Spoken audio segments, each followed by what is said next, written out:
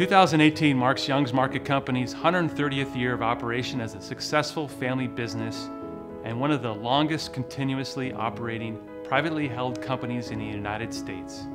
As I continue as the fifth generation leader of Young's, we continue to invest in our business to create value for our stakeholders, clients, customers, employees, and the communities where we live and work. The hallmark of our success is our core values, which we hold as dear today as we did in 1888.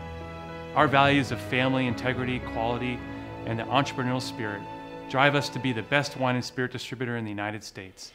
As this industry continues to change, we differentiate ourselves at Young's by adding unique value and capabilities to our clients and customers. I am so proud of our more than 3,000 colleagues across the Western United States. You are truly what makes up the Young's family. You're committed to representing our clients' brands with professionalism, whether it's wine, spirits, sake, beer, or other select beverages. You know our customers inside and out, and you strive to make a lasting impression that represents Young's well in the marketplace. I admire your spirit of volunteerism and love for the community. You are the heart of our charitable efforts through the Underwood Family Foundation. Thank you for being a part of the Young's Market Company legacy, past, present, and future. Cheers to 130 years.